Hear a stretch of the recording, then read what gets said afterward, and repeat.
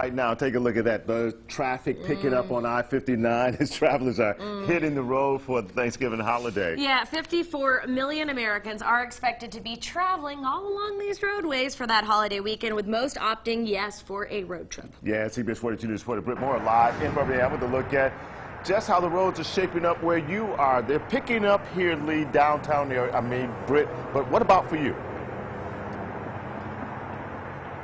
Well, I'm here. This is Interstate 65 right behind me. So far, traffic is picking up quite a bit. Can't tell if it's just regular traffic at this time, but we do know the best bet if you are heading out for your road trip, leave early, like now. Try to avoid those peak afternoon traffic rush hours because there will be plenty of cars out there on the roads.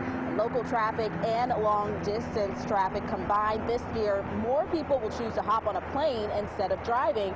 But with that said, 48 million people are still expected to hit the roads for this holiday.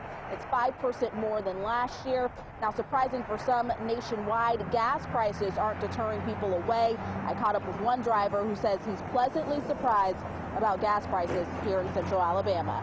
You think that they're uh, they gouge you? They maybe like rack them up on purpose. Uh, like feels like Fourth of July, Labor Day, Thanksgiving, Christmas. But uh, yeah, surprisingly they're low, and it's it's a it's a good thing.